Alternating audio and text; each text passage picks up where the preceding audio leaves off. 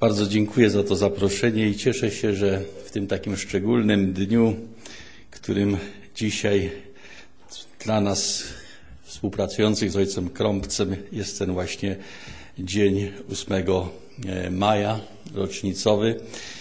Mogę w jakiś sposób włączyć się i coś również tutaj Państwu o tej wielkiej sylwetce ojca Krąbca powiedzieć.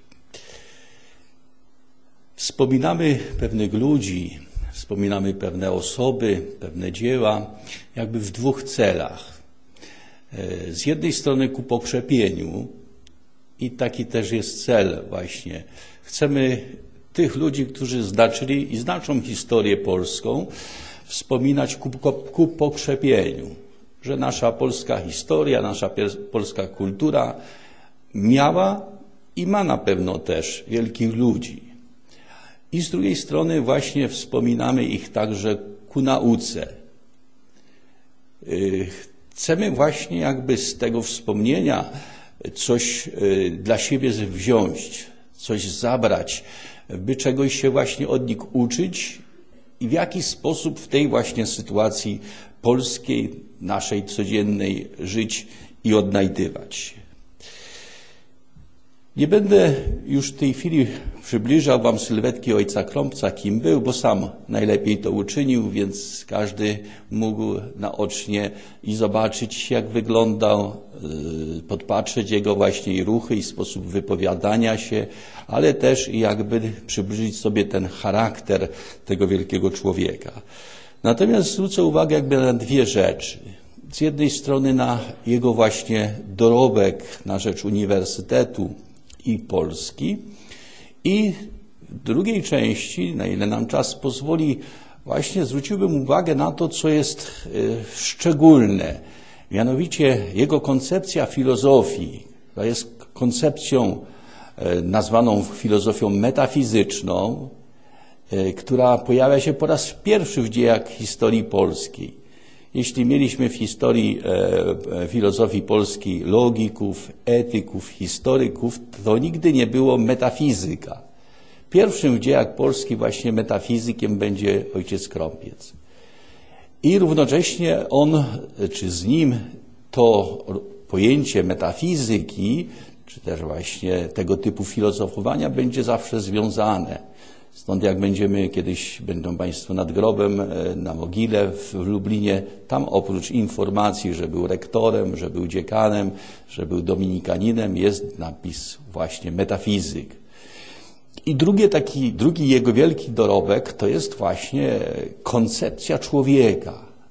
Koncepcja człowieka, osoby, która stoi u podstaw tu jak często przewijało się właśnie ludzkich działań, ludzkich dokonań.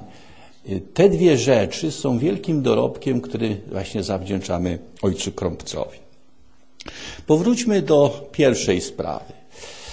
Przez, 17, przez 13 lat był rektorem Katolickiego Uniwersytetu Lubelskiego w czasach bardzo trudnych. To jest rok 1970 1983. Otóż obejmuje kul, kiedy za czasów stalinowskich wszystkie uczelnie, zwłaszcza katolickie, były zamykane, szkoły zresztą różnego rodzaju katolickie były zamykane i takie samo było również, taki sam był również cel co do kulu. Maksymalnie ten kul osłabić, i w związku z tym zlikwidować albo pozostawić jako taką, taki, taką przybudówkę Wyższego Seminarium Duchownego w Lublinie. Właśnie w zamierzeniu ówczesnych władz komunistycznych kul miał pozostać małą uczelnią, kształcącą kandydatów do kapłaństwa i siostry zakonne. Z tej racji właśnie władze Polski Ludowej przez Ministerstwo Oświaty wpierw dokonały zamknięcia świeckich wydziałów, a więc przed latem, przed rokiem 70 zostały zamknięte świeckie wydziały. Jakie? Filologia romańska, angielska, psychologia, socjologia, pedagogika, prawo i inne. Oraz państwo narzuciło limity przyjęć ile można było przyjmować na y, poszczególne wydziały i kierunki. Pierwszym więc zadaniem nowego rektora było ratowanie uniwersytetu. Ratowanie uniwersytetu i odbudowa jego struktury naukowej i równocześnie materialnej. Rozpoczęła się więc próba odbudowy struktury naukowej. Dzięki jego wysiłkom została odbudowana i poszerzona przede wszystkim naukowo-dydaktyczna baza, baza. W roku 70 zorganizowano międzywydziałowy zakład leksykograficzny, ten, o którym tutaj ojciec Krąpiec wspomniał, który podjął redakcję encyklopedii katolickiej i rozpoczęto wydawanie tejże encyklopedii. Dalej, w 1972 utworzono Zakład Duszpasterstwa i Migracji Polonijnej. Od 1984 został ten instytut nazwany Instytutem Badań nad Polonią Zagraniczną i Duszpasterstwem Polonijnym. I w tym samym roku, w 70, reaktywowano sekcję filologii romańskiej, w 82 roku sekcję filologii angielskiej na Wydziale Humanistycznym, a w 81 roku reaktywowano Wydział Nauk Społecznych z takimi sekcjami jak psychologia, pedagogika, socjologia, a w 83 sekcję prawa i prawa, e, na Wydziale Prawa Kanonicznego i Nauk Prawnych.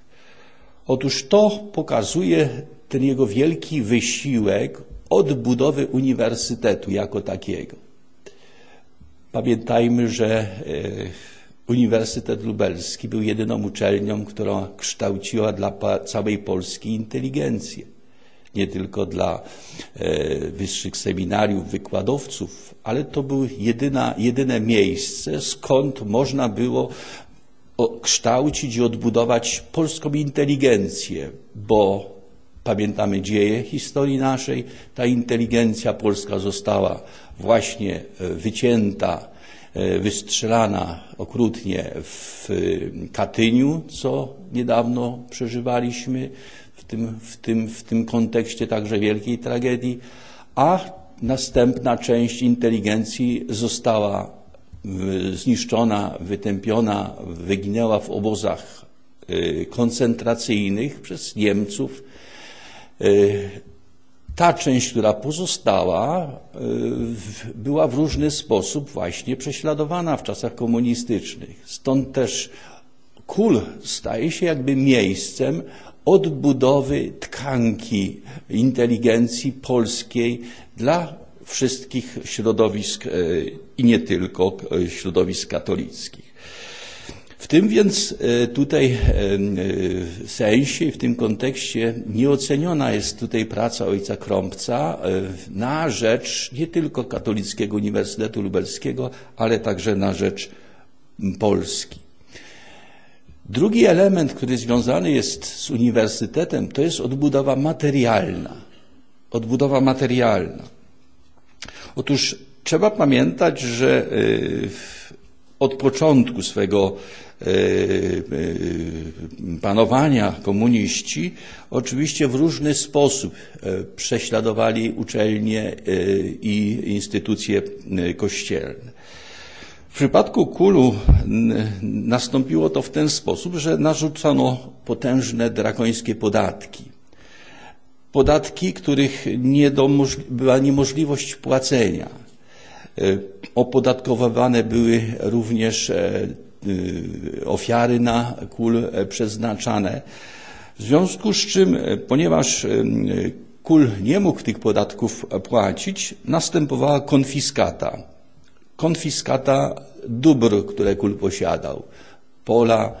I ostatecznym krokiem była, było wejście państwa na hipotekę uniwersytetu. A więc cały uniwersytet został, został po prostu zajęty jako dłużnik. Stąd też e, cokolwiek wpływało na konto, jakikolwiek pieniądz nie mógł być podejmowany, w ten sposób chciano co? Doprowadzić do ruiny materialnej. I jak wspominał często ojciec Krąpiec, e, już właściwie plany miasta były zrobione. Już na miejscu kulów były wskazane, co tam ma się znajdować i zresztą rozpoczęto tam budowę między innymi hotelu, który do dnia dzisiejszego istnieje. I otóż tu była wielka jego praca i równocześnie wielka jakaś mądrość, stanowczość, ale też i roztropność i umiejętność rozmawiania właśnie z tymi władzami, tak jak tutaj wspomniał chociażby z Gierkiem, czy tutaj z, konkretnie ze szlachcicem, dzięki któremu okazało się, udało się zejść po raz pierwszy, jak często powtarzał, raz w historii polskiej państwo zeszło z hipoteki właśnie, na którą weszło.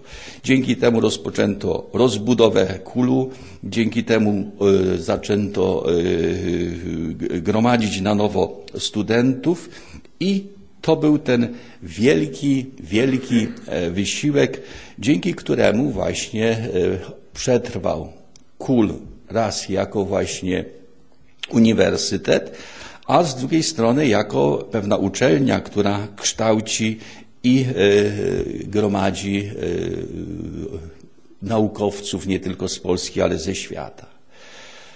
W momencie, kiedy papieżem zostaje Jan Paweł II, oczywiście y, Ojciec jeździ po e, całej Europie, ale zwłaszcza do, e, po Kanadzie i gromadzi właśnie te fundusze, dzięki którym będzie można rozpocząć i budować kolegium Jana Pawła II, które w tej chwili jest właśnie tym nowym gmachem uniwersytetu.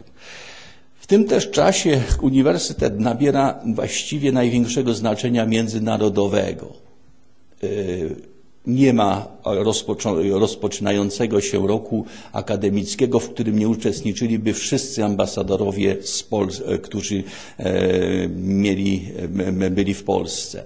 Różnego rodzaju przedstawiciele e, zagraniczni. E, Kul wtedy właśnie w ten sposób wchodził w tę orbitę międzynarodowych uczelni, ale też i równocześnie właśnie jeśli był znany jakiś, w jakiś sposób e, jakiś uniwersytet szeroko w świecie, to przede wszystkim był to znany właśnie Uniwersytet Katolicki, Lubelski Uniwersytet Katolicki. Jeśli Lublin był jakoś znany, to był przede wszystkim znany z tego Uniwersytetu Katolickiego. To jest ta pierwsza część, którą oczywiście trzeba by było bardzo szeroko e, roz, roz, omawiać, ale by przynajmniej jakiś taki obraz Państwu e, nakreślić. E, jego dorobek, jego właśnie dzieło związane z funkcjonowaniem uniwersytetu, tak co do od strony materialnej, jak i od strony tej naukowej. I wyobraźmy sobie, że nie byłoby tego uniwersytetu Wyobraźmy sobie, że tego uniwersytetu by brakło właśnie w tych latach w Polsce. Przypuszczam, zupełnie byśmy byli dzisiaj w innej sytuacji mentalnej, w innej sytuacji właśnie jeśli chodzi o, o, o, ludzi, którzy ciągle mimo wszystko sprzeciwiają się pewnym, pewnym tendencjom, które prowadzą e, to społeczeństwo w jakimś kierunku. Więc e, jest to na pewno rzecz, która wymaga osobnego dopowiedzenia, ale też i dowartościowania. Gdyby tego uniwersytetu nie było, nasza polska kultura, humanistyka, ale też i życie społeczne i kościelne na pewno wyglądałoby inaczej, na pewno byłoby bardzo, bardzo ubogie. Natomiast jako filozof, bo to, że e, całe swoje życie poświęcił czemuś, tej pracy takiej zewnętrznej, to oczywiste jest e, i to jest widoczne. Natomiast był z powołania i ze swego jakby takiego e, przekonania filozofem. Filozofem. Takich ludzi się bardzo rzadko spotyka, bo jest wielu wykształconych oczywiście filozofów, tak jak mamy wielu wykształconych i profesorów i naukowców, ale z takimi prawdziwymi filozofami, mistrzami w tej, w tej, w tej dziedzinie, to spotykamy się rzadko. I zresztą jak patrzymy w historię filozofii, to są takie filary. Platon, Arystoteles, Augustyn, Tomasz, proszę zobaczyć. To są filary, od których dopiero od, odbija się światło całej filozofii. I tak właśnie w czasach współczesnych w historii filozofii jest krąpiec. Otóż y, jak przystało na humanistę i wielkiego filozofa, obejmuje swoim zainteresowaniem wszystkie dziedziny. Natomiast to, na co chciałbym zwrócić tu uwagę dzisiaj, to na dwie, które były mu najbardziej bliskie i z których właściwie wszystko wyrastało. Pierwsza to jest metafizyka i druga to jest właśnie antropologia. Otóż e, termin metafizyka był e, no, zasadniczo od starożytności synonimem filozofia. To w czasach nowożytnych, począwszy właśnie od Kartezjusza, a później od, zwłaszcza od Kanta, ten termin nabrał innego znaczenia, czasem pejoratywnego, albo dzisiaj jak nie wiemy o czym tam coś jest, to mówimy jakieś tam metafizyczne gadanie albo jakieś metafizyczne idee. Tymczasem właśnie od samego początku termin metafizyka oznaczał filozofię, a filozofia, jak wiemy, jest sztuką mądrości, nauką mądrości. I otóż y, filozofię, którą e, ojciec uprawiał, nie tylko uprawiał, ale którą jakby na nowo sformułował współczesnemu Polakowi, ale nie tylko Polakowi, tym się miałaby charakteryzować, że jej przedmiotem jest właśnie świat realny, ten, który dotykamy, że celem tej filozofii jest dostarczenie rozumienia, rozumienia, rozumienia świata, rozumienia człowieka, rozumienia ludzkiego działania. I tak pojmowana filozofia, ona służy czemu? Czy komu? No wpierw służy człowiekowi. Bo jeśli zrozumiemy, to jakby w pełni realizujemy swoją ludzką naturę. Naturę, że jesteśmy istotami rozumnymi. A z drugiej strony tak rozumiana e, filozofia służy kulturze, szeroko rozumianej kulturze. Na kulturę, pamiętamy, składa się cała dziedzina na, nauki, dalej etyka, dalej sztuka i technika i religia. Otóż jeśli mamy błędne rozumienie świata i błędne rozumienie człowieka, ten, który tworzy kulturę, czerpie z tego rozumienia, błędny, będzie właśnie produkt ów tej produkt kultury. Wówczas nie będziemy mieli do czynienia z kulturą humanistyczną, ale antyhumanistyczną. I to było jakby tym wielkim, e, wielką troską ojca e, Krąbca, aby przywrócić na nowo filozofię filozofii, bo filozofia stoi u podstaw. Marksizm, który oczywiście został narzucony szkołom polskim, nie tylko polskim, ale szkołom polskim, był ideologią. Zabił to, co właściwie niosło ze sobą słowo filozofia bo marksizm, jak pamiętamy, nie miał wyjaśniać świata. Marksizm miał świat zmieniać. Filozofia marksistowska miała zmieniać świat i w ten sposób właśnie jakby preparować czy formować sobie mentalność człowieka. Tymczasem od początku filozofia miała nie zmieniać świat. Filozofia miała pomóc zrozumieć świat. I tak rozumianą właśnie filozofię nazwano od początku metafizyką albo filozofią metafizyczną. I otóż e, krąpiec pojawia się i to musimy być świadomi, jakby ten, który po Arystotelesie w średniowieczu po Tomaszu właśnie w XX wieku odnawia tę filozofię. A więc jest jakby tym trzecim filarem w dziejach historii filozofii, gdzie dopiero na nowo podejmuje właśnie tę filozofię po to, by ją raz właśnie sformułować, pokazać, jak jej się uczyć, czym ona w rzeczywistości jest i po drugie właśnie przybliżyć ją, ją polskiemu tutaj czytelnikowi, czy polskiemu studentowi. Otóż chciałem tu przytoczyć e, fragment e, wypowiedzi, która pojawiła się w zeszłym roku z okazji pierwszej rocznicy miesiąca. Wypowiedź ta pochodzi od wybitnego mediawisty polskiego, pana profesora Markowskiego, który odnotował na temat Krąpca właśnie taką uwagę. Mieczysław Krąpiec obok Arystotelesa i Tomasza z Akwinu, do triady największych przedstawicieli klasycznego realizmu egzystencjalnego przynależy. To, co Arystoteles zapoczątkował i Tomasz uzupełnił, to Mieczysław Krąpiec dokończył. Jako jeden z najwybitniejszych i najbardziej twórczych umysłów filozoficznych ludzkości, stworzył bowiem nowy, koherentny system filozoficzny, którym swoim dociekaniom i wnikliwym geniuszem ogarnął całą różnorodną rzeczywistość dostępną dla ludzkiego poznania. W wyniku tego otrzymaliśmy poza arystotelizmem i, tomas, i tomizmem nowy system filozoficzny. Dzięki niemu ten nowy system klasycznego realizmu egzystencjalnego dwudziestolecia zajmuje XX wieku zajmuje wysokie, zaszczytne i godne miejsce w filozofii europejskiej w ogóle i stanowi wielkie wydarzenia w dziejach chrześcijańskiej kultury umysłowej. To jest świadectwo, które wydaje właśnie współczesny historyk filozofii o tym, czego dokonał Krąpiec i czego winniśmy być świadomi.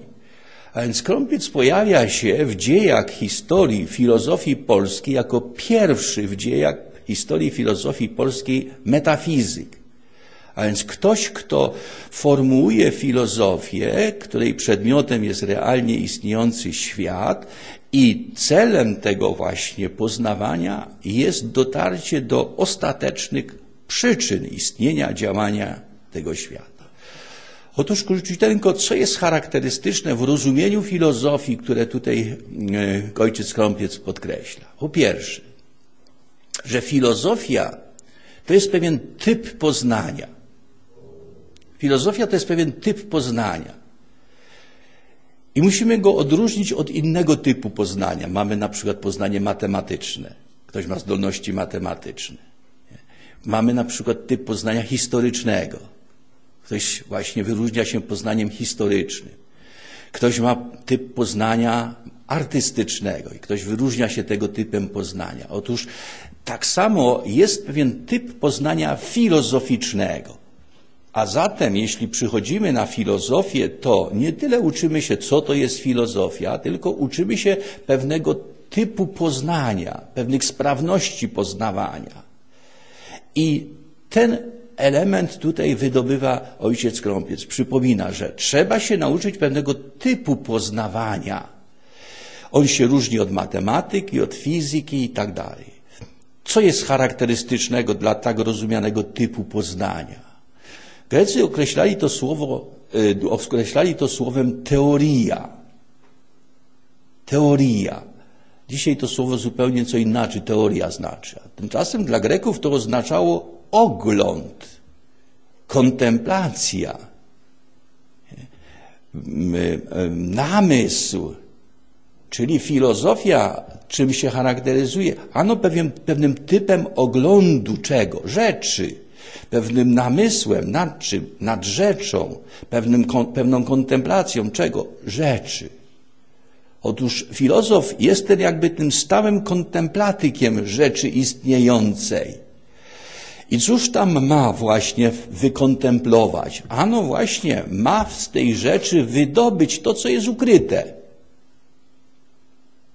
Proszę zobaczyć, jeśli mamy to krzesło zwykłe, no to możemy go w retorcie chemicznej rozebrać na części, na elementy chemiczne, czy fizyczne, jakieś atomy. Ależ przecież tam w tym krześle jest złożona jakaś myśl. Ta myśl, która była projektem stolarza i ona jest w tej desce złożona. I to właśnie tę myśl odnajdujemy patrząc na krzesło, poznając krzesło. Ale to trzeba się nauczyć, żeby odczytać właśnie w krześle taką myśl. I przecież jak siądziemy na krzesło jest niewygodne, to co robimy? Zaraz narzekamy. A cóż to za partacz, że nam takie krzesło zrobił? Dialogujemy z tym, kto to krzesło zrobił, kto ten projekt wykonał, że jest niewygodne. W ten sposób jakby ojciec Krąpiec zwraca uwagę, że żyjemy w świecie, gdzie rzeczy są jak księgi, które trzeba czytać. I filozof jest po to, żeby uczyć się czytać właśnie świata. Do tego czasu uczyliśmy się w szkole czytać właśnie gazety, książki, poznawać opinie innych ludzi o świecie. Natomiast filozof ma sięgnąć do oryginałów. A oryginałem są właśnie rzeczy realne. A teorie to są już o rzeczach realnych. W związku z tym ta wielka sztuka polega filozofowania na tym, by nauczyć czytać się rzeczy. Cóż w tych rzeczach odczytamy? Ano właśnie odczytamy naturę rzeczy, że to jest krzesło. Przecież to nie parlament uchwala, że to jest krzesło. Tylko odczytamy, bo taka jest tam złożona myśl, że to jest zwierzę, to jest człowiek, to jest dom. Co więcej, okazuje się, że w tych rzeczach odczyta, odczytamy również coś więcej. Cel, bo tam także jest zapisany cel. To jest krzesło do siedzenia, to jest ławka do oparcia się i tak dalej, i tak dalej. Dzięki temu filozof zaczyna pokazywać, że, czy odkrywać, że żyjemy w jakim świecie? Ano, żyjemy w świecie racjonalnym, gdzie każda rzecz niesie w sobie myśl, zamysł twórcy, a jak przejdziemy do całego świata, stwórcy. I wówczas dopiero filozof zaczyna uświadamiać sobie, że jeśli jest mądry, to nie mądrością własnej głowy, ale mądrością rzeczy. To właśnie nasz rozum staje się mądry mądrością rzeczy. I rozum taki, który kieruje się właśnie prawdą rzeczy, będzie tak zwanym rozumem prawym. Kiedy rozum oderwiemy od rzeczy, następuje deprawacja rozumu. I to mamy właśnie, i to widzimy w tak zwanych nurtach skrajnie racjonalistycznych. Człowiek myśli, że to on jest twórcą prawdy, że to on ze swego intelektu wyprowadza prawdę. Tymczasem nic bardziej błędnego. Okazuje się, prawda jest złożona w rzeczach realnych. I człowiek ma tę prawdę odkrywać i do tej prawdy dostosować swoje działanie. Wtedy będziemy mówili o rozumie prawym. Tak samo, kiedy nasze działanie będzie właśnie odpowiednie do dobra, będziemy mówili o prawej woli. A jakaż to będzie prawa wola? Ano taka, która postępuje zgodnie z dobrem, wybiera dobro, które czyni, które należy czynić. I to był jeden z takich większych wysiłków ojca profesora, który próbował właśnie na nowo przenieść do współczesności. Dlatego, że dramatem filozofii współczesnej było oderwanie ludzkiego poznania od świata rzeczy. Kant powiedział, rzeczy są niepoznawalne. W związku z tym to my im narzucamy formy. Kardezjusz podzielił świat na tak zwanych rex extensa, res cogitas, rzeczy myślące i, i materię. Ale materia jest z natury jaka? Irracjonalna. To my ją musimy racjonalizować. I, o tym, I otóż skutkiem tego ciągu filozoficznego, który odbił się później w całej kulturze, zobaczmy, mamy dzisiaj ekologię. Bo nikt nie chce się liczyć z prawdą rzeczy w środowisku. A jeśli chodzi o człowieka, mamy zakwestionowanie natury ludzkiej i wydaje nam się, że będziemy człowieka konstruo- że będziemy konstruowali naturę ludzką. Otóż e, filozofia zatem, e, o którą tutaj buduje tak zwana filozofia metafizyczna ojca, ojciec Krąpiec, właśnie ma służyć przede wszystkim do tego, aby nie wyprzedać myślenia za bezcen. Żeby filozof poznawał. I stąd też drugim elementem, które wprowadza do filozofii, do metafizyki, to jest oddziel, odróżnienie poznania od myślenia. Dziś bardzo często właściwie mamy do czynienia z myśleniem. Kiedy dokonuje się myślenia? Myślenie dokonuje się na obrazach, na pojęciach. Przechodzimy sobie od jednego pojęcia do drugiego, łączymy te pojęcia, rozdzielamy i to jest proces myślenia. Stąd też możemy mówić, że maszyny myślą. Ale myślenie to nie jest to samo co poznawanie. Poznawanie to jest właśnie interioryzacja, czyli wchłonięcie w siebie treści rzeczy, które doświadczamy i wytworzenie teraz pewnego obrazu rzeczy. Porównujemy, czy on jest zgodny z tą rzeczą, czy niezgodny i mamy prawdę wówczas lub fałsz. I wtedy dopiero zaczyna się właśnie kultura, kiedy mamy do czynienia właśnie z poznawaniem, a myślenie jest drugim procesem. Tymczasem znowu we współczesnej kulturze widzimy to, że zostało jakby zredukowane myśle, poznawanie na rzecz tylko i wyłącznie myślenia.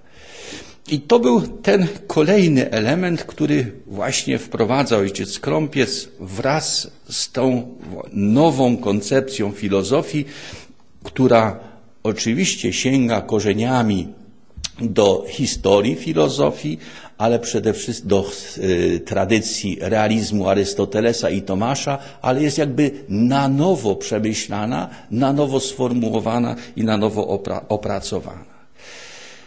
Tak rozumiana metafizyka, czyli filozofia, ma kilka celów e, według właśnie ojca spełnić. Pierwszy cel to ma dostarczyć tak, zwanego, tak zwanej wiedzy mądrościowej. Po studiach mamy bardzo dużo informacji, zauważcie, wiemy z czego się samochód składa, wiemy z czego komórka się składa, z czego atom się składa. Jest to wiedza informacyjna. Natomiast pozostaje problem właśnie wiedzy mądrościowej. I otóż czym ma się charakteryzować wiedza mądrościowa? Mamy pojęcie religijne mądrości, że bojaźń Boża jest początkiem mądrości. Tu chodzi o pewne filozoficzne rozumienie mądrości, gdzie mądrość oznacza wiedzę o przyczynach. To już Arystoteles będzie powie, powie że nie ten mądry jest lekarz, co przepisze nam jakieś lekarstwo i przestanie nas tam boleć brzuch czy głowa. Ale ten jest mądry lekarz, który zna przyczynę naszej choroby. I otóż e, filozofia uczy poznania przyczynowego. A więc jeśli widzimy, że coś dzieje się w społeczeństwie, coś dzieje się w kulturze, to nie tylko możemy to opisywać i ubolewać, ale musimy poszukiwać przyczyn. Najpierw tych najbliższych przyczyn, a później tych ostatecznych przyczyn. I to dotyczy właśnie tego pytania najpierw istnienia świata, jaka jest właśnie ta przyczyna najbliższa istnienia mojego, istnienia drugiego człowieka, i ta ostateczna przyczyna istnienia wszystkich rzeczy i całego świata. Jeśli to filozof dociera do tego, wówczas widzimy, ma wizję świata związaną, ma obraz świata jakby spójny. Na ten obraz świata może przekładać swoje wyniki nauk już szczegółowych.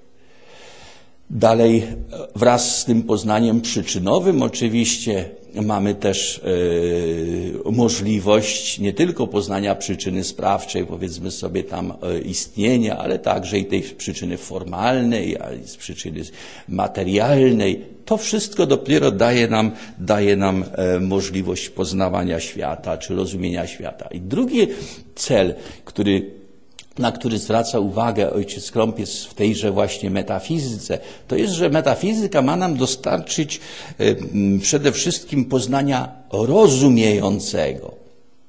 Poznać, aby zrozumieć.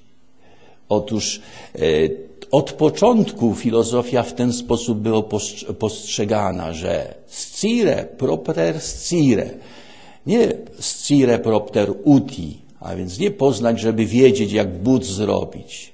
Nie poznać, jakby wiedzieć, jak kogoś użyć, ale poznać, żeby zrozumieć, zrozumieć, kim jest człowiek, czym jest roślina, czym jest świat. Otóż e, to poznanie właśnie uzyskujemy dzięki i tylko i wyłącznie dzięki filozofii. I dzisiaj znowu tego typu poznania brakuje u podstaw nauk i u podstaw kultury. Bo jeśli biolog nie wie, kto to jest człowiek, proszę zobaczyć, to będzie przekładał swoje wyniki na takie rozumienie, jakie ma. Jego przekład będzie fałszywy. Jeśli teolog nie rozumie, kto to jest człowiek, także i jego wyniki będą fałszywe. Prze przekład jego wyników będzie fałszywy. A więc u podstaw wszystkich nauk leży właśnie rozumienie. Tymczasem nikt tego rozumienia nas nie uczy. To ma właśnie uczyć filozofia. Dalej, filozofia, o którą tutaj także, e, o którym e, mówimy, którą formuje ojciec Krąpiec, to jest e, filozofia, która ma być sztuką prawdziwie wolnego poznawania. Bo to, że jesteśmy wolni w poznawaniu, to każdy oczywiście jakoś tam doświadcza tego, ale czasami nawet nie jesteśmy świadomi, czym możemy być niewoleni. I oprócz takich niewoli fizycznych, których doświadczamy, czasami nie jesteśmy świadomi, ile właśnie jesteśmy w niewoli różnych teorii. Jeden jest tam zwolennikiem teorii, powiedzmy sobie, korpuskularnej materii, ktoś tam inny będzie falowej, ktoś tam inny kwantowej, jeszcze ktoś inny jakiejś innej teorii. Otóż dzisiaj człowiekowi grozi właśnie zniewolenie teoriami, że jesteśmy zwolennikami, wyznawcami teorii. Tymczasem filozofia realistyczna ma nas czego nauczyć? Właśnie jak być wolnym w poznawaniu. A tę wolność uzyskujemy w bardzo prosty sposób. Trzeba bardziej słuchać rzeczy niż teorii. Trzeba zacząć czytać rzeczy i od odczytania tej rzeczy dopiero formułować sobie e, swoją teorię. Dziś rzecz bardzo ważna, zauważcie kulturowo, bo wszyscy skanani jesteśmy na jakieś fakty prasowe, czy też fakty jakieś telewizyjne. I teraz o to chodzi. Albo się na tym zatrzymujemy i mamy obraz takiej rzeczy, jaki nam podano. Ale to nie jest rzecz, to już jest informacja o rzeczy. To nie jest już fakt, to już jest interpretacja faktu. A zatem trzeba wiedzieć, oczywiście, że, jest, że, że, że informacje otrzymujemy, ale trzeba wiedzieć, że to jest informacja o fakcie, że to jest obraz jakiś faktu, natomiast fakt gdzieś indziej jest. I docierać do tego faktu potrzeba.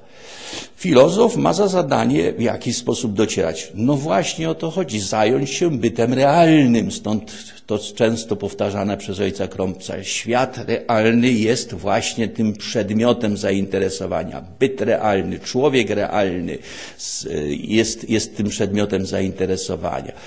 E, jeśli natomiast zajmiemy się już naszym językiem, który wypowiadamy o rzeczach, proszę zobaczyć, to już jesteśmy gdzie indziej.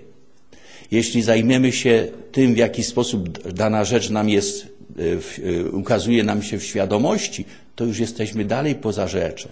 I tak dalej, i tak dalej. Stąd ten realizm, na który zwraca uwagę ojciec Krąpiec, jest tym fundamentem raz rozwoju człowieka jako istoty myślącej, a po drugie doskonałym jakby sposobem ochrony czy obrony przed manipulacją. Otóż nikt nas nie zmanipuluje, jeśli będziemy właśnie weryfikowali swoją wiedzę, swoje teorie właśnie o, w oparciu o rzecz. Właśnie docierania do, do rzeczy. Oczywiście są pewne fakty społeczne, gdzie nie mamy możliwości dotarcia, ale mamy właśnie wtedy obowiązek porównywać informacje jedną, drugą, trzecią i dochodzić do rzeczy. To było takim jednym z najbardziej newralgicznych punktów filozofowania ojca Krąbca. Z tego właśnie narodziła się metafizyka, współczesna, realistyczna metafizyka i powiadam, jest to ewenement w e, kulturze polskiej, w filozofii polskiej, ale też dzisiaj jest to jedyna opracowana całościowo koncepcja właśnie filozofii, metafizyki w świecie. Gdy sięgniemy do podręczników światowych, jeśli chodzi o filozofię realistyczną, poza podręcznikiem ojca Krąbca nie znajdziemy całościowego przedstawienia przedmiotu e, tej, tejże filozofii, sposobu jego ujaśniania, przyczyn itd. Tak Drugą taką wielką dziedziną zainteresowań to była oczywiście antropologia, a więc problem człowieka. Pamiętamy, że zależności od tego, jaki mamy paradygmat przy tworzeniu obrazu człowieka, taki też będziemy mieli, takie otrzymujemy też, takie otrzymujemy też rozumienie człowieka. Był czas, kiedy formowano obraz człowieka w oparciu o paradygmat anioła, ducha, który został, który został zamknięty w materię. To był platoński obraz człowieka. Później otrzymaliśmy w dziedzictwie, w w dziedzictwie e, obraz człowieka, który sformułował Arystoteles jako animal rationale, zwierzę, zwierzęcia, które jest rozumne.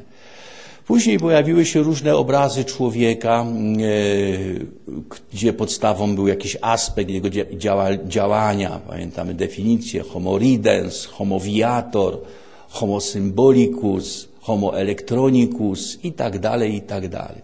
Otóż w pewnym momencie zostaje wypracowana w kulturze właśnie łacińskiej, w kulturze chrześcijańskiej koncepcja człowieka jako osoby.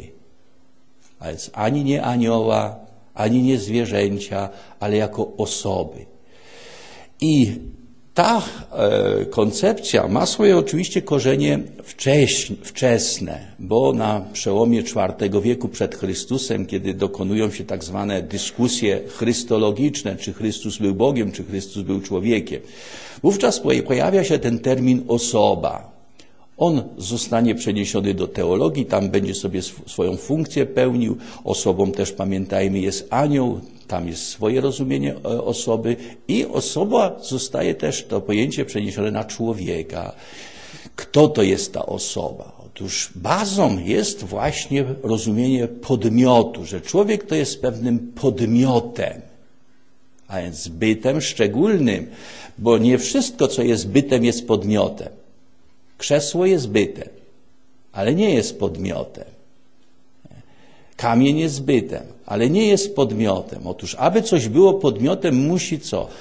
Bytować w sobie, istnieć w sobie i co więcej, od wewnątrz się organizować.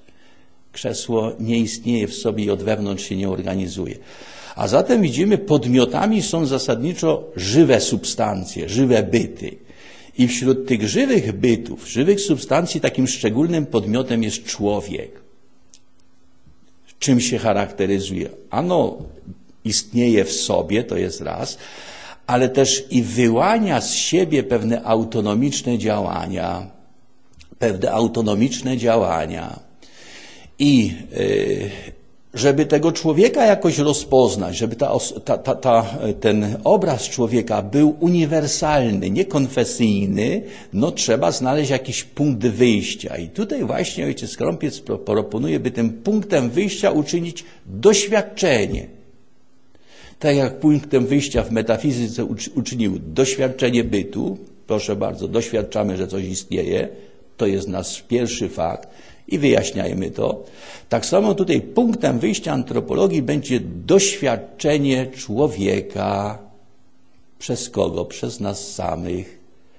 I nawiązuje tutaj do tego słynnego powiedzenia właśnie świętego Tomasza, który też zwrócił uwagę na to, że experitur enim homo se esse idem qui intelligit et senti. Że człowiek doświadcza czego? Że jest tym samym, który odczuwa i myśli.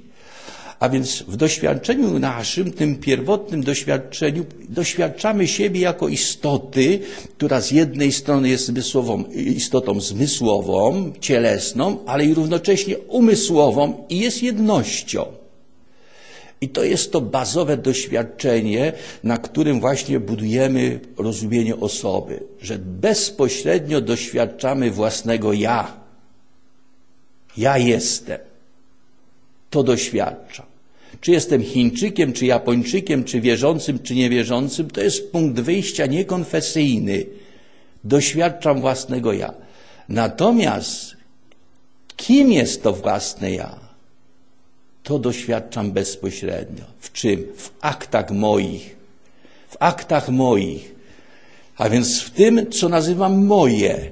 W tym, co wyprowadzam ze swojego, swojego działania. I w ten sposób rozpoczyna budować właśnie specyficzną antropologię, antropologię właśnie osoby ojciec Krąpiec. Otóż doświadczając tego ja w aktach moich, odkrywam siebie jako kogo? Ano właśnie, jako istotę rozumną w aktach poznania. Odkrywam siebie jako istotę wolną w aktach decydowania. Odkrywam siebie jako istotę amabilną w aktach pożądania. I wreszcie odkrywam siebie jako istotę religijną w aktach religijnych. I to są pierwsze odkrycia właśnie oblicza człowieka, tej osoby, że to ja jestem właśnie taki. I dzięki tym odkryciu tych czterech cech, a więc aktów poznania, aktów miłości, aktów wolności, aktów religijności, odkrywamy coś jeszcze głębszego. Okazuje się, odkrywamy fakt ludzkiej transcendencji. Mianowicie tego, że choć jesteśmy w świecie materialnym i choć z tym światem materialnym tworzymy jedność, to jednak ten świat przekraczamy.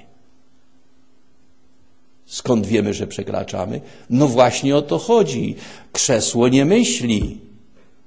Krzesło nie decyduje. Zwierzę nie myśli, zwierzę nie decyduje. Tam wszystko jest kierowane instynktem. Otóż widzimy, że transcendujemy świat przyrody, świat, w którym żyjemy. Co to oznacza? To znaczy, że nie jesteśmy nigdy do końca zdeterminowani prawami biologii. Warto o tym pamiętać, zwłaszcza przy dzisiejszych teoriach, gdzie nam się chce wmówić, że mamy już takie stałe determinacje, nie można się ani homoseksuali, stała determinacja, tam powiedzmy sobie jakaś inna stała determinacja. Otóż nie ma czegoś takiego. Człowiek transcenduje naturę, a zatem może podbijać ten świat i swoją biologię właśnie pod prawa ducha. To oznacza, że musi być źródło w takim razie specyficzne ludzkiego istnienia. I tak dochodzimy do pojęcia duszy.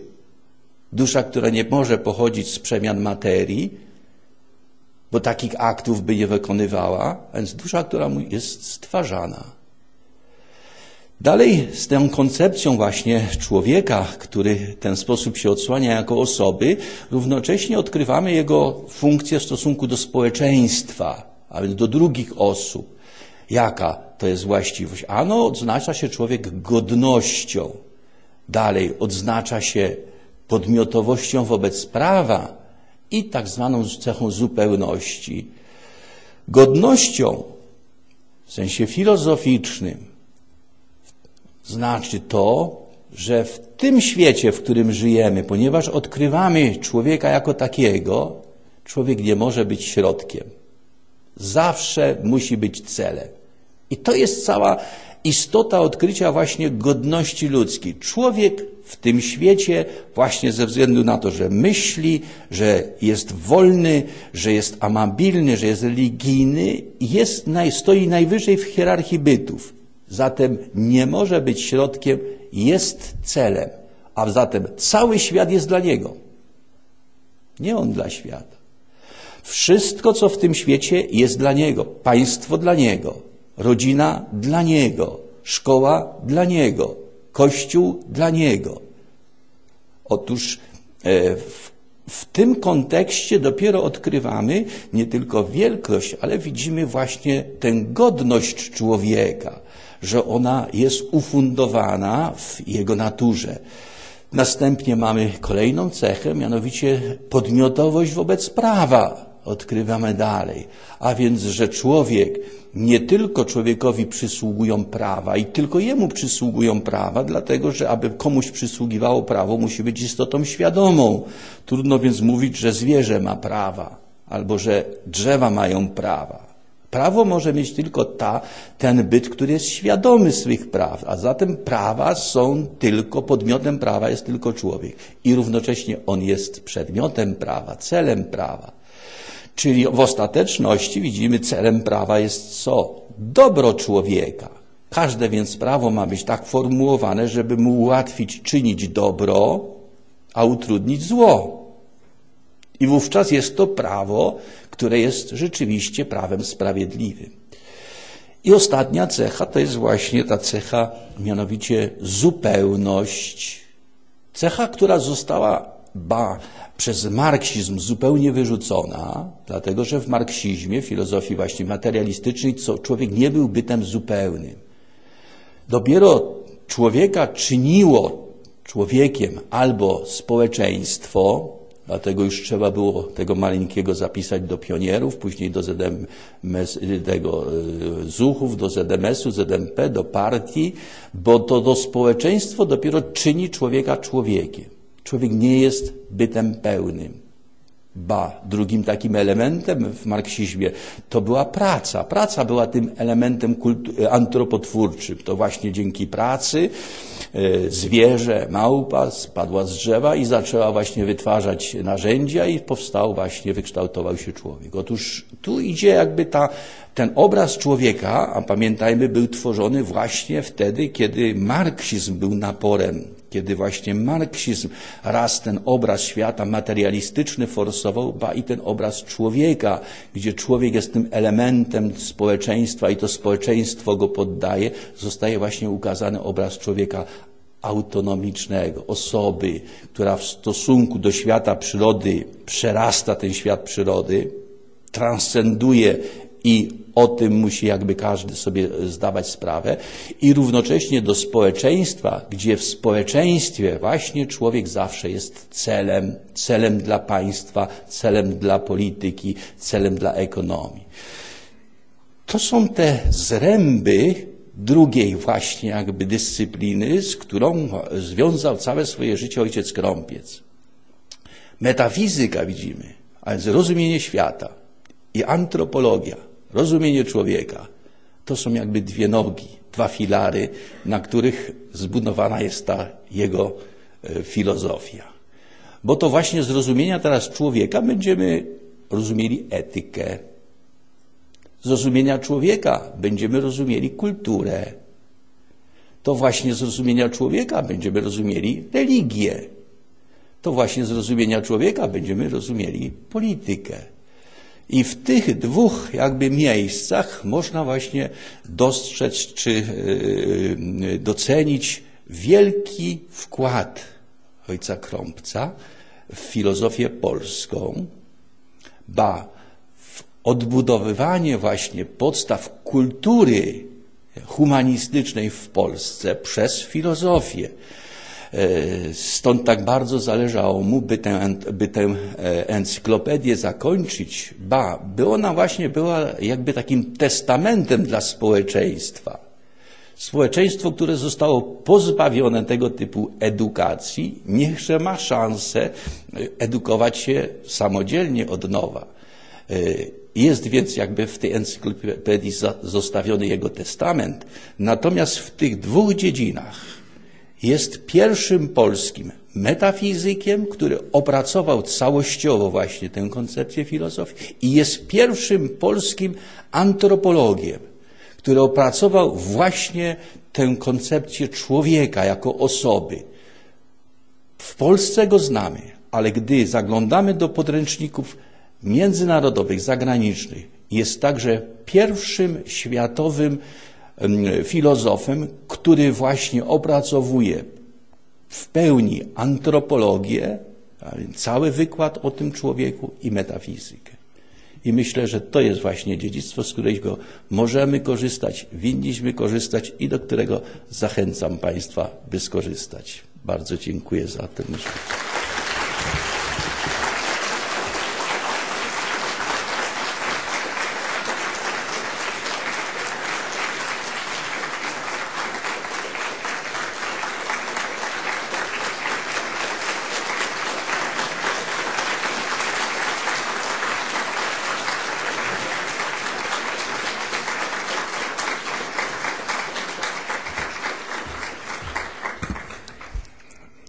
Księże profesorze, mam takie mocne przekonanie, że filozofia jest bardzo prosta. Mam takie mocne przekonanie, że filozofia jest bardzo prosta, bardzo piękna i bardzo potrzebna. E, I myślę, że wszyscy studenci i profesorowie, którzy słuchali teraz e, tego wykładu i mogli się spotkać z księdzem profesorem, że chyba wszyscy mamy to samo przekonanie. Raz jeszcze e, za ten przepiękny wykład i to spotkanie księdzu profesorowi dziękuję. Dziękujemy wszyscy. Chciałbym Państwu studentom tylko powiedzieć, że w Wyższej Szkole Kultury Społecznej i Medialnej tu w Toruniu, w, w tym budynku na pierwszym piętrze jest biblioteka. A w tej bibliotece jest czytelnia, a w tej czytelni jest półka, na, którą, na której znajdą Państwo bez konieczności wypożyczania, ale od razu możecie sięgnąć po 10 tomów e, encyklopedii, powszechnej encyklopedii filozofii, o której wspominał e, ksiądz e, profesor, która jest dziełem życia ojca profesora Mieczysława Alberta Krąbca. Chciałbym powiedzieć, że znajdziecie tam Państwo także pięknie oprawione książki, które są wydawnictwem Towarzystwa Świętego Tomasza Zakwinu, a które autorami są ksiądz profesor doktor habilitowany Andrzej Maryniarczyk, stojący tam z tyłu ksiądz profesor doktor habilitowany Henryk Kieresz, e, ksiądz prof, e, pan profesor. Zawsze panu profesorowi to przypiszemy, ale to jest ten duch, ten duch ten duch. E, e, także pan profesor e, Piotr Jaroszyński. Po prostu chciałbym Państwa zachęcić do tego, by, by tę umiejętność poznawania świata i człowieka kontynuować. Kontynuować, żeby z murów naszej, naszej uczelni wychodziły, i to jest nasze pragnienie, i nasza praca, i nasze marzenie, marzenie, które stanęło u początku wielkiego dzieła ojca profesora Mieczysława Alberta Krąbca, by wykształcić elity intelektualne w Polsce. E, prymas Polski, prymas tysiąclecia, e, ubolewał bardzo nad tym, że nie ma elit katolickich i, i zrobił wszystko, czynił wszystko, by te elity było i e, dziękuję bardzo raz jeszcze księdzu profesorowi za to, że dzisiejszym wykładem przyczynił się wielce do formowania elit Polsce. Serdeczne Bóg zapłać. Pani Małgosia ma jakieś pytanie, tak? No można, oczywiście, że można. Jest jakiś mikrofon? Żeby student tutaj jakiś podszedł, tu jest mikrofon. Jest jakiś mężczyzna obrotny tu na sali? Nie, nie ma.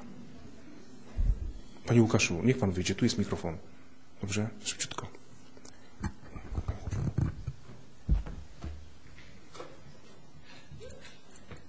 Szczęść Boże, Małgorzata Kania, studentka piątego roku politologii. E, proszę księdza, podczas e, wykładu księdza profesora nasunęło mi się kilka refleksji, a mianowicie e, mówił ksiądz profesor o Poznaniu. Znaczy, uczymy się tutaj, że czym jest prawda? Prawda jest to zgodność Poznania z rzeczywistością.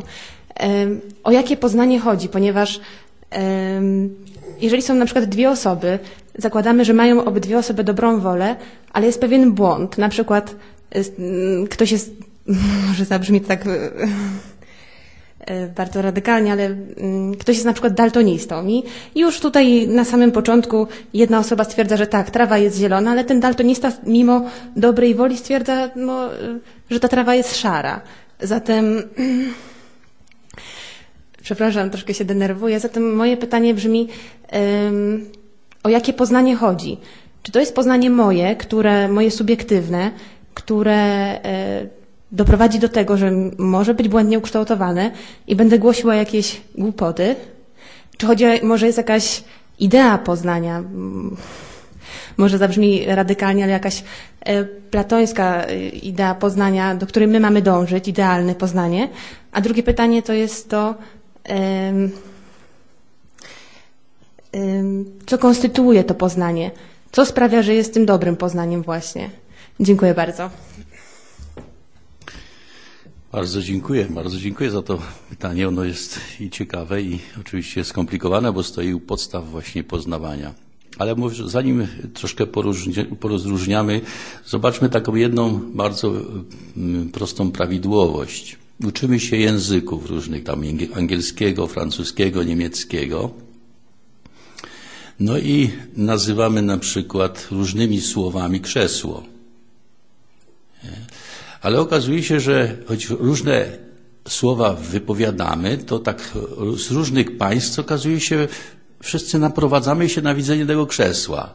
Co to oznacza? Oznacza się, że mamy jakby obraz, intelektualny obraz krzesła, wszyscy podobny, czyli jak Chińczyk patrzy na krzesło, to on tworzy sobie obraz krzesła, nie? Jak Japończyk patrzy na krzesło, on też sobie tworzy jakby obraz krzesła, czyli mamy jakiś obiektywizm poznawczy w tym naszym ujęciu poznawczym, choć różnymi słowami go nazywamy. I gdyby nie było, że mamy taki obiektywizm poznawczy, proszę zobaczyć, nigdy byśmy się języków nie nauczyli, bo to słowo by nas nigdy nie naprowadziło na widzenie, na widzenie krzesła, chyba żebyśmy zgadywali. Otóż to jest taka jedna sprawa, na którą warto zwrócić uwagę. Natomiast wracając już do, do, do prawdy. Yy, to jest piękny, klasyczny tekst, właśnie taka perełka Tomasza, który mówi w ten sposób, że każda rzecz, i teraz sobie wyobraźmy taką rzecz, czy to będzie krzesło, czy coś. Postawiona jest przed, pomiędzy dwoma intelektami. Jeden to jest ten intelekt, który tę myśl, rzecz pomyślał, a jeśli to jest artysta albo stwórca, i drugi to jest ten, który tę rzecz poznał, intelekt. W związku z tym jest jeszcze pomiędzy środku, na, na środku jest rzecz, która została naznaczona przez ten intelekt. Mamy więc trzy sytuacje i trzy prawdy. I na to często nie zwracamy uwagi. Najczęściej spotykamy się z tą prawdą właśnie w sensie takim y, zgodność wypowiedzi lub niezgodność. Mówimy, jest dzisiaj pogoda. Wszyscy patrzymy, jest pogoda. No chyba, że ktoś jest niewidomy, no to będzie właśnie problem, coś takiego. To pomijamy tę sytuację. Jest pogoda. I dlatego mówimy zgodne, jest to, jest to zdanie prawdziwe, że jest zgodne ze stanem rzeczy. I to jest właśnie tak zwana prawda w sensie logicznym. Ale proszę zobaczyć, mówi, yy, yy, mamy perłę przed sobą i mówimy prawdziwy perły. Albo spotykamy człowieka i mówimy prawdziwy przyjaciel. Otóż używamy też słowo prawda. Jest to tak zwana prawda w sensie metafizycznym. To jest właściwość rzeczy.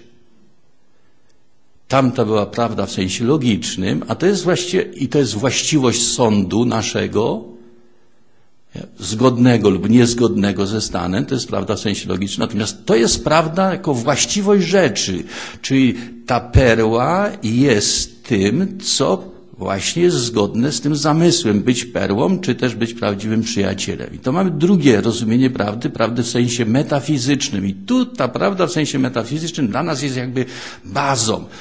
Widzimy, ja nie tworzę prawdy dla krzesła. W tym krześle, w tym przedmiocie jest tam zawarta myśl. Jeśli Państwo teraz siedzą na, na krzesłach, proszę zwrócić uwagę, że uciskacie pewną myśl tam. Więc z szacunkiem, tam jest myśl, którą ktoś wymyślił, właśnie zrobił i uciskamy ją. Tam jest pewna myśl. I teraz paradoks na tym polega, że nasz, my, nasz intelekt spotyka się tam właśnie z tym, co jest z intelektu. Inaczej w żaden sposób byśmy nie weszli w poznawanie rzeczy, gdyby w rzeczy nie było złożone coś z intelektu. Deskę możemy poznać twardość dotykiem barwę wzrokiem. Natomiast intelekt poznaje to, co jest z intelektu w rzeczy. I to jest ta prawda właśnie złożona w rzeczy i ona jest tym obiektywnym elementem. My się możemy mylić, że ja tam coś innego zobaczę, ale tym kryterium jest właśnie krzesło. I my się z nim wszyscy uzgadniamy. To jest aspektywne widzenie nie oznacza, że po prostu nie ma czegoś takiego jak właśnie prawdy o krześle, która jest zawarta nie w moim intelekcie, właśnie wpierw w krześle. I dochodzimy jeszcze do trzeciego rozumienia prawdy, ono już jest szczególne, mianowicie prawda jako sam zamysł. W przypadku sztuki zwłaszcza to jest widoczne, artysta ma pomysł, a więc skonstruował pewną ideę i to jest ta prawda, w sensie właśnie nazywamy to ontycznym. Albo stwórca ma właśnie ten pomysł człowieka, ideę człowieka. I to jest właśnie ta najbardziej pierwotna, to jest sama, sama ta idea, sam ten pomysł. I teraz według tego pomysłu jest zrobiony obraz. Wymalowany obraz, czy właśnie wyprodukowany dany przedmiot. I tu już w tym przedmiocie to jest ta właśnie prawda metafizyczna nam zrealizowana i znowu my podchodzimy i albo się uzgadniamy, że to jest prawdziwe, że to jest zgodne albo niezgodne. Także te trzy rzeczy warto właśnie roz, rozpamiętywać, rozróżniać, natomiast najważniejsza jest właśnie dostrzeżenie tego, to co właśnie metafizyka tutaj wprowadza, uświadamia nam, że to nie my jesteśmy nośnikami prawdy. Rzeczy są nośnikami prawdy. My się prawdy uczymy. I proszę zobaczyć, lekarz mądry to nie jest ten lekarz, który wszystko z głowy wy, wy, wyprowadza. Nie, który poznał prawdę organizmu. On jest mądry mądrością organizmu. Fizyk mądry to nie jest fizyk, który tam wszystko z głowy wymyślił. Fizyk mądry, który jest mądry mądrością tej struktury materii. A skąd się wzięła ta mądrość struktury materii? Od Stwórcy. A skąd się wzięła ta mą- mądrość struktury tego krzesła? Od Twórcy. I e, tego właśnie na to zwraca metafizyka. Natomiast zwróćmy uwagę, że filozofia nowożytna, począwszy właśnie od empiryków brytyjskich, Hume, Kant, e, Hume, Locke, czy też właśnie począwszy od Kanta, zupełnie nas informuje inaczej. Mówi, świat nie niesie w sobie żadnej informacji. To jest masa. Trzeba go informować, trzeba go racjonalizować. I konsekwencje tego są okrutne w, w, w kulturze, ale nie tylko, na, już tu wspominałem na przykładzie człowieka. Prawda właśnie jest w rzeczach i w związku z tym e, ona oczywiście, to poznanie wymaga wielkiego wysiłku, uzgadniania, bo to, to jest cała teoria poznania, kiedy błędy robimy, kiedy jesteśmy zmęczeni, coś innego, kiedy właśnie no, nie widzimy i tak dalej. Tak, to są wszystko rzeczy, które związane są z tak zwanymi już błędami poznawczymi, natomiast prawda jest tam. Jeśli może. Jest jeszcze szansa, by stać się mądrzejszy, mądrze, mądrością e, księdza profesora. Jeszcze możliwość jednego pytania. E, Bardzo prosimy. Damy kobiecie pierwszeństwo, tak? Króciutko. E, Pilnie wykładu. Aha, dobrze, przepraszam. Chciałabym zwrócić uwagę na to, że podczas wykładu padły takie określenia, mianowicie, że człowiek posiada podmiotowość prawa, e, co, cy- co cytuję też, że prawa może mieć tylko człowiek, bo jest świadomy tych praw. Zwierzęta i rośliny tego, pra, tej po- podmiotowości prawa nie posiadają, e, bo są nierozumne, bo nie mają rozumu, prawda? I teraz chciałabym odnieść się do.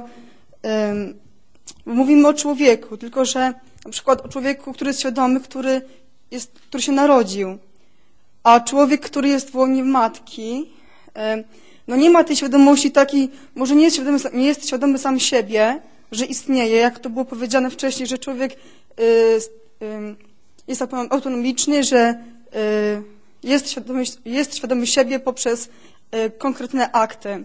I teraz, gdyby teraz ktoś to z ruchu fem- feministycznego przeczytał, to pomyślałby sobie, no dobrze, no to jak jeżeli dziecko jest, y, jeżeli embrion jest nieświadomy, jeżeli nie dokonuje aktów y, w, w, życi- w realnym życiu, to można doskonale go y, usunąć, bo nie jest istotą, nie jest osobą.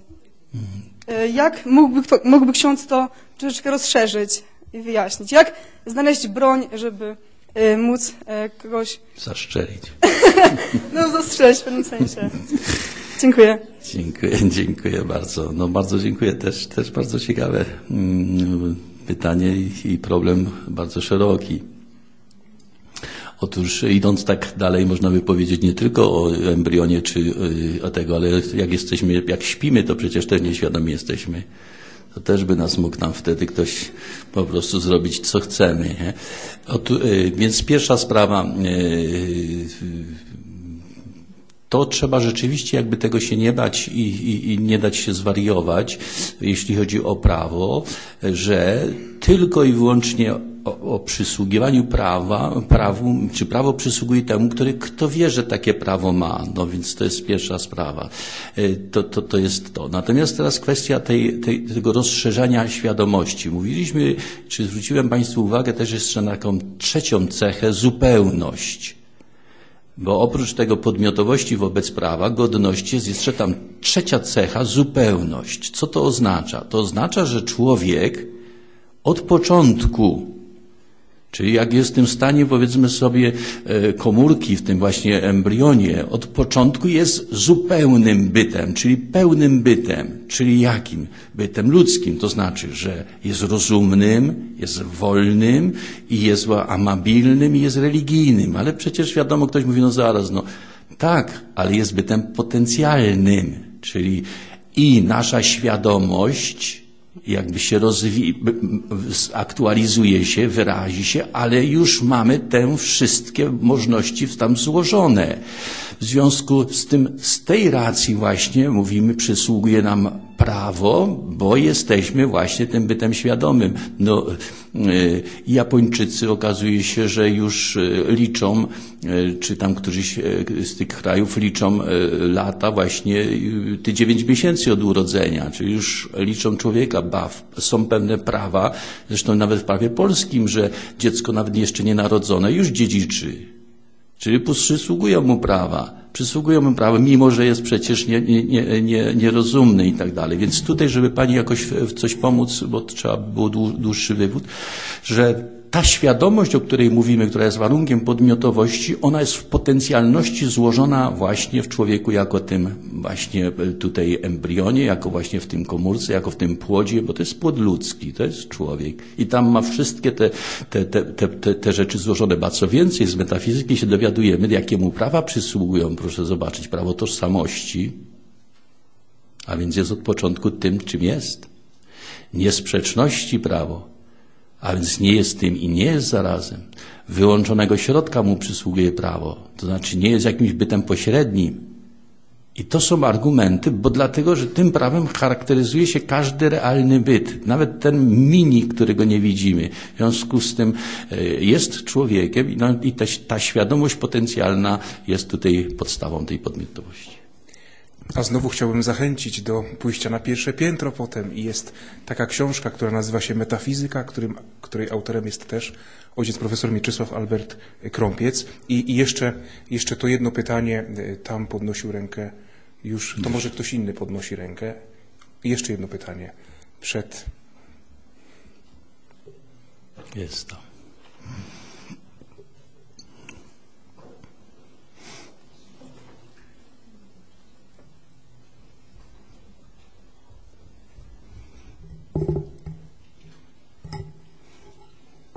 Lidia Cichowlas, pierwszy rok dziennikarstwa. Chciałam się odnieść do pytania koleżanki, ponieważ zapytała o to, jak jest z naszym poznawaniem, że jedna osoba widzi trawę zieloną, inna, że szarą.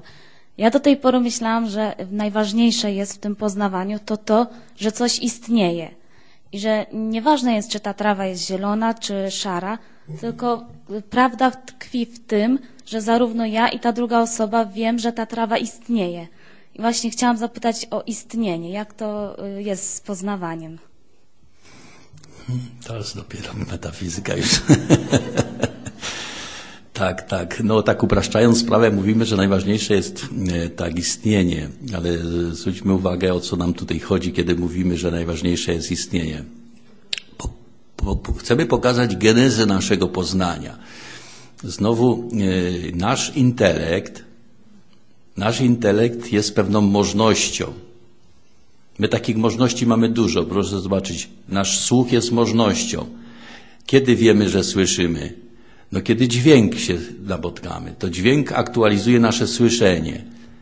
E, Nasze, nasze, nasze oczy, nasz wzrok jest też możnością. Kiedy zaczynamy widzieć? Kiedy się pojawia barwa, to zaczyna się aktualizować nasze widzenie.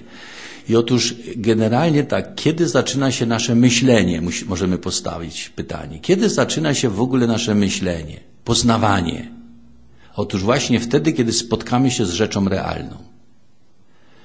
Ba, Tomasz powie w ten sposób. Gdyby nie było rzeczy realnych, nie poznawalibyśmy. Gdyby nie było rzeczy realnych, w ogóle byśmy nie mogli poznawać, nie moglibyśmy się zaktualizować jako poznający. I to jest jakby ten, to jest to jakby ten punkt wyjścia, stąd powiadamy, że stwierdzamy istnienie rzeczy i to jest najważniejsze. Nie ma istnienia rzeczy, nie ma poznania. Wtedy możemy co? No, no wtedy albo wymyślać coś, albo konstruować. Właśnie o to chodzi. Możemy myśleć na, na, na jakichś abstraktach. Nie, nie ma, bo istniejąca rzecz aktualizuje nas. Natomiast teraz proces poznawczy się bardzo musi rozwijać, bo musimy treść poznać. I dlatego mamy już teraz spartykularyzowane poznanie. Fizyk ma to robić. Chemik ma ten aspekt poznawać. Stolarz ma ten aspekt poznawać. A filozof ma ten aspekt poznawać. Jaki? Ano właśnie to, czego nie dostrzeże na przykład fizyk. Fizyk nie dostrzeże, że w tym krześle jest, proszę zobaczyć, złożona myśl. To, co nazywamy krótko forma. Biolog nie dostrzeże, że w tym człowieku jest dusza. Bo on czym innym zajmuje się, ale jego poznanie jest bardzo ważne i bardzo potrzebne. Każdy ma swoje miejsce na poznanie. Natomiast właśnie filozofia, antropologia ma zadanie nam pokazać, kto to jest ten, kto jest poznawany. Aha, to jest człowiek. A co to znaczy, że to jest człowiek? Jaka jest ostateczna racja istnienia? Co jeszcze jest potrzebne do tego, by być człowiekiem i tak dalej, i tak dalej. Więc tu się dopiero rozbudowuje poznanie właśnie od strony treści. I ono idzie właśnie w te, w te aspekty czysto jakościowe, które biorą nauki szczegółowe i czysto ilościowe, a mamy właśnie tę osobną, specyficzną dyscyplinę, która nam pozwala właśnie nie tylko poznać od strony treści, ale i zrozumieć, co to jest człowiek, dlaczego to jest człowiekiem i co takiego szczególnego jest w nim jako człowieku. Księże profesorze, ja miałbym też jedną małą prośbę jeszcze, by, by ksiądz profesor trochę ujawnił nam tajemnicę pracy księdza profesora, ojca profesora Mieczysława Alberta Krąbca. To znaczy, słyszymy dzisiaj i, i podziwiamy wielki intelekt, niezwykły filozof, ale też ogromna praca. Ksiądz profesor przez wiele lat widział, jak wygląda codzienna praca ojca profesora. Może krótko dwa słowa na ten temat. Dla studentów, by zapalić do pracy. Tak jest. Otóż no, ojciec bardzo często podkreśla taką jedną rzecz, że w zakonie właśnie kaznodziejskim, w zakonie dominikanów, oni mieli zapisane w regule, że jeśli więcej, jeśli ktoś pracuje mniej niż 8 godzin studium dziennie, to grzeszy. Też nie tylko, że się opija, tylko też z tego trzeba się było spowiadać. Więc w związku z tym e, widzimy, jak, jak, jak, jak problematyka e, tej pracy, takiej zwłaszcza intelektualnej, była e, kładziona. To równocześnie wiadomo w różny sposób wyglądało. Natomiast to, czego można się było od ojca uczyć, to naprawdę on był tytan pracy. On nigdy nie przestawał być filozofem i filozofować. Czy był na spotkaniu, czy na jakimś, na jakimś wolnym takim, takiej rozmowie, tam zawsze poruszyło się, czy doszło, dochodziło się do pewnych problemów do, do pewnych zagadnień życiowych, filozoficznych, jakichś tam społecznych. Stąd też stawał rano o godzinie czwartej, jak mówił, parzył kawę, żeby Pana Jezusa przy, nie przyjąć na, na soki, soki żołądkowe, tylko na kawę porządną, mszę później odprawiał. No i rozpoczynał studium, studium czytania lektur, kiedy był, kiedy był rektorem. Mówi, do dziesiątej godziny, od czwartej do dziesiątej pracował. O dziesiątej wychodził na uniwersytet, administracja i wiadomo, ale już do tego czasu miał wszystko przygotowane, stąd też nawet będąc rektorem, to kilka monografii opublikował. Wracał, później odpoczywał. No oczywiście bardzo był zdyscyplinowany, bo już szósta godzina to dla niego czy, czy, czy lato, czy zima, to się już brał do spania, więc nikt tam telefonów po szóstej, w pół do siódmej nie, wyko nie, nie, nie wykonywał. No i dzięki temu właśnie w tej takiej dyscyplinie mógł rzeczywiście wielki, wie, wiele rzeczy do, dokonać. Także. Jeszcze ostatnie pytanie. Ostatni moment życia ojca profesora to jest też niezwykle symboliczny. Tak, no rzeczywiście. Y, No ja miałem ten, ten zaszczyt, czy też taką właśnie takie szczęście, gdyż przez tę encyklopedię, a to trwała praca prawie 11 lat, proszę sobie wyobrazić, 11 lat, dzień w dzień, z wyjątkiem niedzieli, no od godziny zawsze 15 do 17 czytywaliśmy hasła, a więc te artykuły, które pisali autorzy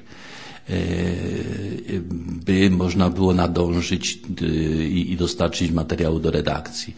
I właśnie w ten pamiętny dzień e, 8 maja także normalnie odczytaliśmy część haseł, które przyszły do, do sprawdzenia. E, O, przyniosłem mu do autoryzacji jego hasło, które pisał na temat właśnie chrześcijaństwa. To już było hasło do suplementu, gdyż chrześcijaństwo miało być w pierwszym tomie, jako, jakoś zastanawialiśmy się, czy je dać. I na tym poprawiając to swoje hasło właśnie e, w miejscu, gdzie, gdzie, gdzie był zatytułowane Przyjście Chrystusa, właśnie takie otwarte były i, i, i wtedy tam na, przy tym haś- haśle właśnie zmarł. Yy, Na siedząco nawet nie przewrócił się, tak że normalnie znaleziono go na krześle, lekko prze, przechyloną głową, z otwartym właśnie, z długopisem i przy sprawdzonym haśle. Także taki, jak rzeczywiście, prawie, tak jak żołnierz, który ginie w, w, w tego na bitwie, tak właśnie filozof, który podczas pracy zatrzymuje i jakby od, odłożył tekst otwarty, powiedziawszy, no doczytam to za chwilę, niech tylko zostanie czas tylko. Także. Raz jeszcze gościem Wyższej Szkoły Kultury Społecznej i Medialnej był e, ksiądz profesor doktor habilitowany Andrzej Marniarczyk. Księże profesorze, serdecznie dziękujemy. Bardzo,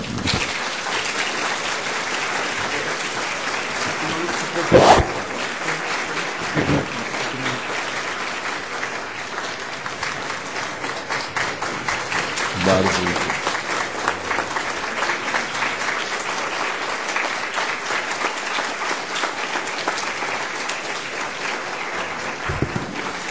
Bardzo, bardzo, bardzo serdecznie dziękuję tutaj ojcu rektorowi za zaproszenie. No i bardzo Państwu dziękuję za tę taką ważną i sympatyczną Waszą obecność i słuchanie. Jeśli ku czemuś to służy, niech to właśnie służy naszemu wspólnemu dobru, bo to jest to wspólne dobro, wzrastanie w mądrości. Szczęść Boże.